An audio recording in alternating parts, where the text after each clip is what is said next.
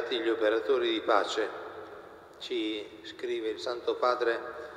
Benedetto XVI in quello che è il messaggio che lui ha voluto fare per la Chiesa intera per questa giornata che la Chiesa dedica alla, alla realtà della pace come dono grande di cui l'umanità ha estremo bisogno. Beati gli operatori di pace. Siamo alla fine del 2012 questo anno che abbiamo vissuto, credo con elementi di, di, speranza, con qualche delusione, con qualche amarezza, con qualche sofferenza, però siamo a chiudere un anno che ci ha visti camminare nel cammino della vita, per alcuni nel cammino della vita illuminata dalla fede, per altri per un cammino di vita che talvolta ha fatto a meno della realtà della fede, ma comunque siamo stati chiamati e forse abbiamo fatto opere di bene in questo anno. Ne ringraziamo il Signore, ne ringraziamo il Signore perché ognuno di noi che ha doni da mettere a disposizione degli altri è chiamato a vivere opere di bene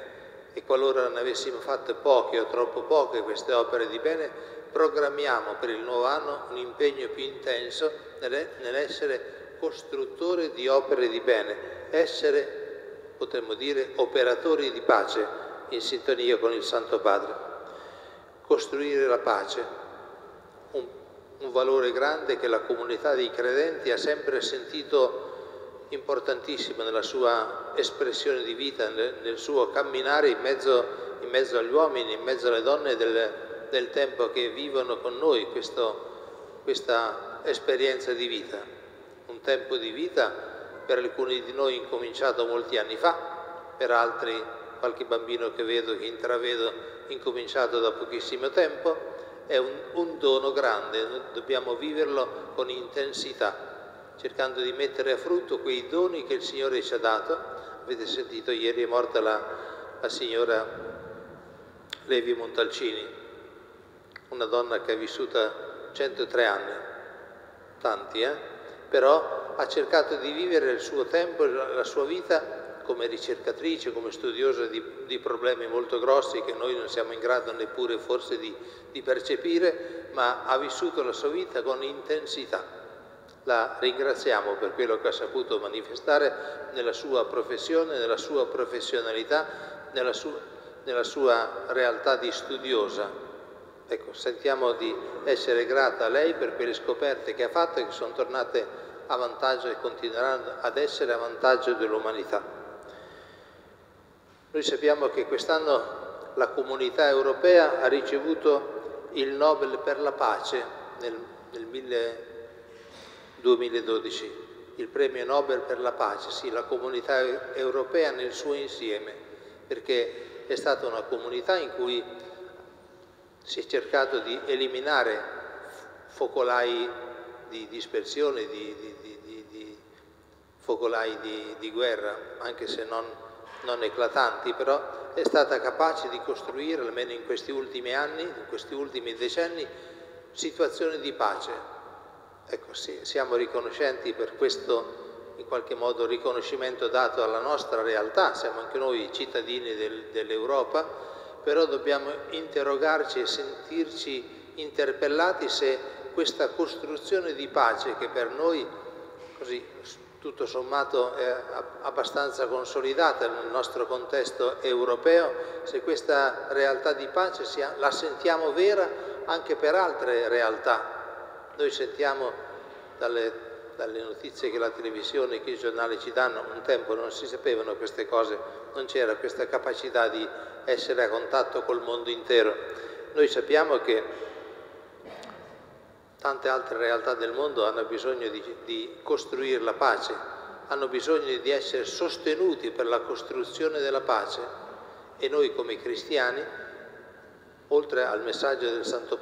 del Santo Padre che cogliamo con tanto rispetto e con tanta venerazione, come una voce autorevole che ci richiama a questi impegni di, di, di credenti, noi mh, mm, abbiamo questa esperienza alla fine di ogni anno molti cristiani si ritrovino in alcune parti d'Italia per proclamare la pace anche visivamente con la loro presenza, con le loro attività, con i loro essere protagonisti nelle varie realtà ecclesiali, protagonisti della realtà della pace. Quest'anno si sta svolgendo, questa sera qui, mentre noi siamo qua a, a Lecce, una marcia, una marcia per la pace, ma questa marcia della pace che viviamo con la comunità religiosa cristiana di Lecce eh, coinvolge tutta la realtà, la realtà italiana ecco, e guardando anche al di là della realtà italiana è una manifestazione che in qualche modo sollecita la realtà della pace che è tanto necessaria e tanto richiesta da tanti. In tante parti del mondo noi sappiamo che la pace non c'è, la gente muore, viene ammazzata, viene eliminata. Sentiamo la Siria, questo paese bello, glorioso nella sua storia che vive una tragedia di, di, di morte e di sofferenze che continua ormai da, da circa un anno. Che tristezza vedere quella gente che muore, viene ammazzata va, mentre va alla ricerca del pane e si mette in fila per ritirare il pane. Qualche mascalzone, qualche delinquente, qualcuno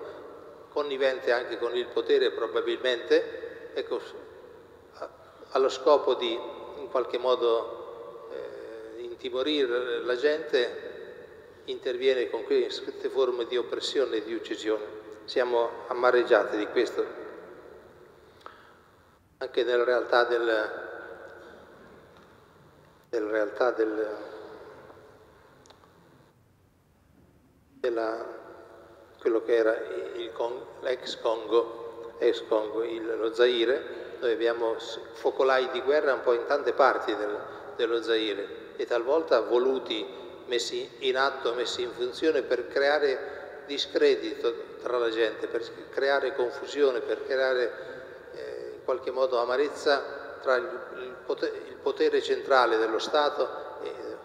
e le, le, le, realtà locali. No? Sono, sì, però leggiamo queste notizie in maniera molto fugace, diciamo sì, nel Kivu, nella regione del Kivu e attorno alla città di Goma, no? i, i, ribelli si sono messi ad ammazzare tanta gente, a fare stragi della città di Goma e di, di, di altre realtà viciniori. Poi ci passa sopra, diciamo, poveretti, massimo che possiamo dire. Noi, noi dobbiamo essere costruttori desiderosi, quasi a dire al Signore, Signore, dacci questa pace di cui abbiamo bisogno di cui tanta gente nel mondo ha bisogno, fa sorgere uomini e donne capaci di lanciare il messaggio della pace e di essere protagonisti in, questi, in questo messaggio di pace. Sì, costruire sentimenti di pace nel nostro vivere quotidiano. Questa sera, mentre noi siamo qui ancora a Roma, c'è un'altra manifestazione molto bella, molto significativa, circa 40.000 e oltre giovani i giovani di Tezè, provenienti dal mondo intero, che trovano a Tezè, questa località della Francia in cui, in cui vivono, mettono insieme le loro esperienze di fede e si fanno protagonisti di annunci di pace, protagonisti, operatori di pace. 40.000 giovani accolti dalla, dalle famiglie della città di Roma